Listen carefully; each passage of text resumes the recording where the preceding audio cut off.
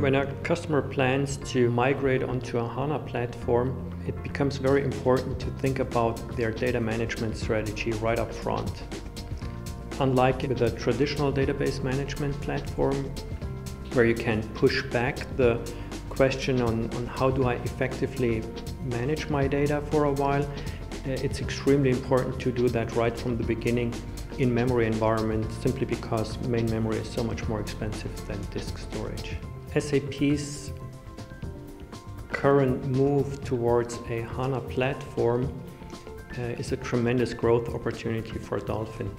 We see a increasing demand for our data management solutions from customers that are planning to migrate uh, into an HANA environment to help them reduce their cost or keep cost under control.